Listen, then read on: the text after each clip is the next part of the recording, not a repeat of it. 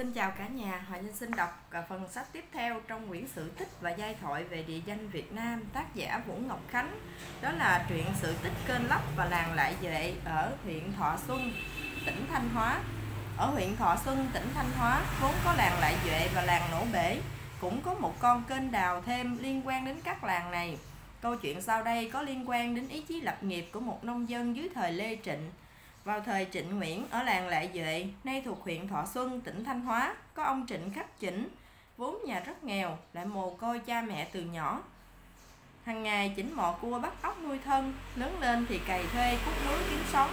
Tính Chỉnh thật thà hay giúp đỡ người nghèo khổ, kẻ hoạn nạn nên được dân làng rất quý mến. Năm ấy, làng lệ Duệ khuyết một chức trùm, theo lệ làng có 10 vị trùm, không kể tuổi tác, có chữ hay không, miễn là có 200 quan tiền, một con lợn dài nửa sải tay và con bò làm cổ mời làng, khao làng xã là được lên trùm, ăn trên ngồi tróc. Trong buổi họp làng để bầu vị trùm khuyết, chỉnh cùng một số chàng trai khác lo việc hầu hạ, phải dậy sớm ra đình quét tước rồi giết lợn làm cổ. Các chức dịch và quan viên làng hàng xã họp bàn một lúc thì đánh chén no say, sau đó lại quay ra bàn bạc tiếp, chán chê mà cuộc bán mua vẫn chưa ngã ngủ nhiều người muốn làm trùm, chỉ hiềm tục lệ nặng quá, gây tốn kém không ai kham nổi. Bọn chỉnh không được họp bàn đã đành, đến chén rượu thừa cũng không được uống. Bụng đói miệng khát mà chẳng dám hé răng. Thấy quan viên và chức dịch cả nài người ép, cứ đùng đẩy nhau hoài. Chỉnh rất khó chịu, buộc mồm nói. Không ai dám nhận thì xin cắt cố để đó cho tôi. Câu nói vui không ngờ lọt vào tai lý trưởng, một tên chức sắc xảo quyệt, độc ác. Hắn sẵn giọng quát, À thằng Chỉnh, Mày biết chi việc làng việc nước mà dám chỏ mõm vào nói láo. Trai làng đâu Nọc cổ thằng Chỉnh đánh 30 rồi Chỉnh chắp tay phân bua. Thấy các cố không ai nhận làm trùm, Tôi lỡ miệng nói vui, Chứ đã ăn mất phần thịt phần soi của ai Mà thầy Lý sai người đánh tôi. Lý trưởng càng nổi cơn thịnh nộ. Mày là một thằng cùng đinh mà dám đòi ăn tiên chỉ của làng. Lại ngang nhiên cãi nhau tay đôi với Lý Dịch. Trai làng đâu, Trói cổ thằng Chỉnh lại bỏ rọ ngâm xong. Tội vạ đâu tao chịu, Bất quá tao lên hầu quan một buổi là xong. Trai làng phần đông rất nể chỉnh, Vì trước nay anh vẫn ăn ở rất tốt với mọi người. Vả lại anh có sức khỏe nổi tiếng, Nên không ai muốn đụng đến anh. Chỉ có hai gã người nhà lý trưởng Cậy thần cậy thế xong tới bắt chỉnh. Chỉnh không cho trói, Anh vung mạnh hai cánh tay gạt chúng ra. Không ngờ gạt mạnh quá, Làm cả hai đứa bị ngã lăn chiên. Thấy bọn tay chân bị ngã, Lý trưởng la toán lên, Vu cho chỉnh chửi làng, đánh chết người. Hắn mở trống mỏ báo động liên hồi. Đinh Tráng và dân làng nghe báo động liên hồi đều đổ ra đầy đường, rầm rập kéo tới sân đình. Chỉnh phát hoảng, vùng chạy, lý trưởng hô đinh tráng đuổi theo bắt lấy. Chỉnh chạy ra đồng, vượt đê sang bãi. Khi đinh tráng, dân làng đến bờ đê, anh nhảy ầm xuống sông chu đang mùa nước lớn. Nhìn dòng nước sông chảy xiết, không ai dám rượt theo anh lúc lý trưởng đuổi kịp đoàn người thì chỉnh đã ở bãi bờ bên kìa sông anh chắp tay nói vọng sang Trình dân làng, tuy thất học, chỉnh tôi cũng hiểu được cái nghĩa của xóm làng. Nay lý dịch cậy thế, lộng hành hãm hại tôi, bức bắt tôi thành kẻ võ làng. Vậy một lệ này dám mong dân làng tha lỗi. Biết có đuổi theo anh cũng không kịp. vả lại, bên kia sông đã thuộc đất làng, xã khác, lý trưởng tức điên ruột nhưng đành thậm mực trở về.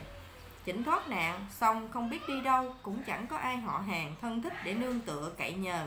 Anh nhớ tới bà lão bán hàng nước cạnh gốc cây đa bên bờ đê, là chỗ quen thuộc. Mùa tơ mùa dâu tơ tầm nào bà cũng sang làng duệ mua và nhờ chỉnh gánh về hộ. Anh kể chuyện vừa xảy ra rồi khẩn khoản. Bây giờ tôi phải bỏ làng ra đi trong tay không một đồng tiền một hạt gạo. Bà làm phúc cho tôi vay bốn ống bương gạo nếp và một nén bông sơ. Còn sống mà về làng tôi xin đền đáp lại bà lão phúc hậu bằng lòng giúp chỉnh. Anh nhờ bà nấu luôn cho cả bốn ống gạo nếp. Cơm chín, chỉnh ăn một bụng thật no. Còn đâu, anh đem luyện, còn đậu, anh đem luyện với bông sơ chia thành nhiều nắm mượn luôn cái bị nát, bỏ vào, đeo lên vai. Khi từ việc bà lão chỉnh nói đùa, khi nào tôi làm lên ông tướng, tôi sẽ xin vua phong cho bà làm bà quận. Chỉnh quyết một phen đi thật xa để lập nghiệp. Anh ngày đi, đêm nghỉ, đói dở cơm nếp, luyện bông ra ăn, khát phục nước sông, nước suối mà uống cuối cùng đến được kinh thành huế. Kinh thành huế thật là chốn phồn hoa đô hội, nhan nhãn những quan nha, phố phường đông đúc, hàng quán sang sát bên nhau, kẻ sang người trọng, tiền của nhiều không sao kể xiết.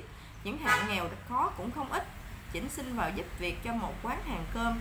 Chủ hàng thấy anh khỏe mạnh thật thà giao cho việc bổ củi gánh nước, nhóm lò, rồi giá giò. Toàn những công việc nặng nhọc, nhưng với sức lực cường tráng, chỉnh làm việc không biết mệt.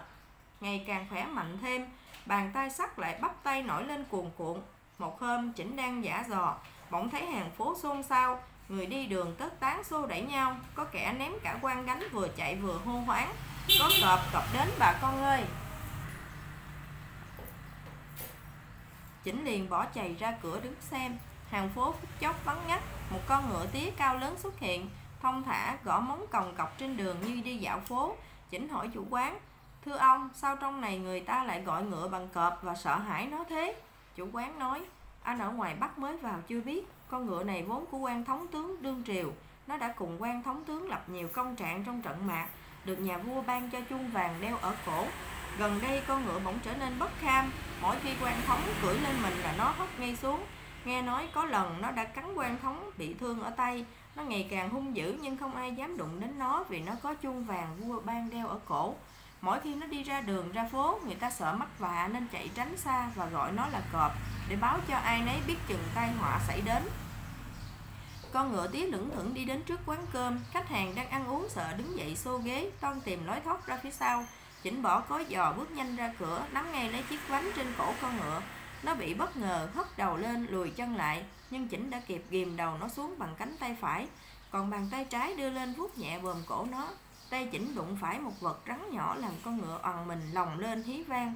Thì ra đó là một cái đinh sắt vốn từ cái yên da chẳng may đã cắm sâu xuống chỗ gáy cổ giáp vai nó, làm da thịt sưng tấy và mưng mủ, nhưng bị lông bờm phủ lấp nên không ai nhìn thấy. Chỉnh lừa, nhổ được cái vết đinh vứt đi. Con ngựa bỗng nhiên thuần hẳn tính, nó cúi đầu gập gập tỏ vẻ bằng lòng và biết ơn chỉnh thích chí muốn cưỡi con ngựa xem sao. Con ngựa khoan khoái rung bườm phi nước kiệu, đưa chỉnh đi một vòng qua phố rồi trở lại quán cơm. Phút chốc tin đồn khắp kinh thành có một tráng sĩ từ phương xa tới đã thuần phục được con ngựa bất kham. Quan thống tướng thân tới quán cơm tìm chỉnh hỏi, người đã làm cách chi thuần phục được ngựa quý của ta? Chỉnh định nói, do anh nhổ được chiếc đinh, nhưng lại nghĩ biết đâu cái đinh là quan lớn cấm cấm vào để trị tội con ngựa bất kham, nên chỉ trả lời bẩm quan lớn, con vừa dùng sức mạnh để kiềm chế nó, vừa vuốt ve để dỗ dành nó, không ngờ nó chịu phục. Biết chỉnh là người khác thường, quan thống tướng đem về dinh, trước sai làm giám mã chăm sóc con ngựa quý, sao cho học rèn võ nghệ, rồi binh thư, binh pháp. Chỉnh vốn khỏe mạnh, thông minh, lại cố công học hành, nên chẳng bao lâu thành tài, được quan thống tướng yêu mến gả con gái cho làm vợ.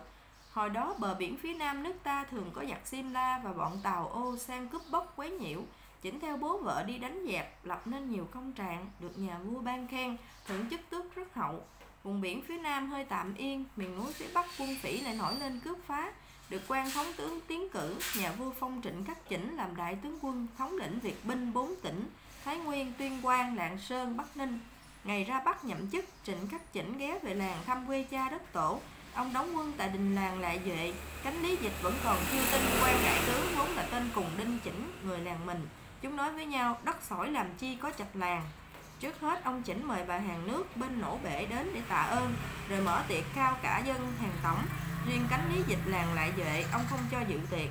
Qua ngày hôm sau ông lấy dân phu cả tổng cùng quân sĩ của mình đào một con sông từ sau làng lại vệ, ăn thông ra sông cầu chày.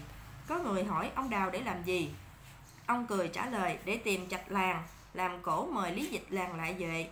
một viên quan nghe nói tưởng thật liền thưa bẩm tướng quân tướng quân cần chặt làng, sao không cho người đi mua? Hà tất phải đào bới làm nhọc sức dân phu và quân sĩ. Ông chỉnh mỉm cười, hỏi các tướng lĩnh dưới quyền, các người có nhìn thấy cánh đồng nước trắng băng trước mặt ta không? Ta thỏa hàng vi phải bỏ làng ra đi. Nay nhờ ơn thánh chúa được làm quan quyền cao chức trọng, nhưng lúc nào cũng nghĩ tới quê nhà, thương người dân nơi thôn giả đói rét khổ sở.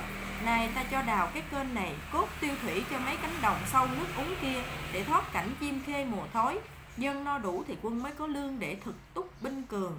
Con kênh đó gọi là kênh lấp ông còn đổi lại tên làng lại vệ thành làng phong lai, xã xuân lai, thành xã Xuân Lai, làng nổ bể của bà hàng nước thành làng lễ nghĩa, xã Xuân Thành. Về sau ông làm tới chức trưởng quân kim trưởng phủ sứ đại tướng quân Lan Phủ Lâm Hầu. Vừa rồi cả nhà vừa nghe sự tích kênh lấp và làng Lại Duệ ở huyện Thọ Xuân, tỉnh Thanh Hóa. Nếu yêu thích kênh của Hà Danh xin hãy like và chia sẻ để mọi người cùng nghe nhiều câu chuyện. Xin cảm ơn cả nhà đã lắng nghe.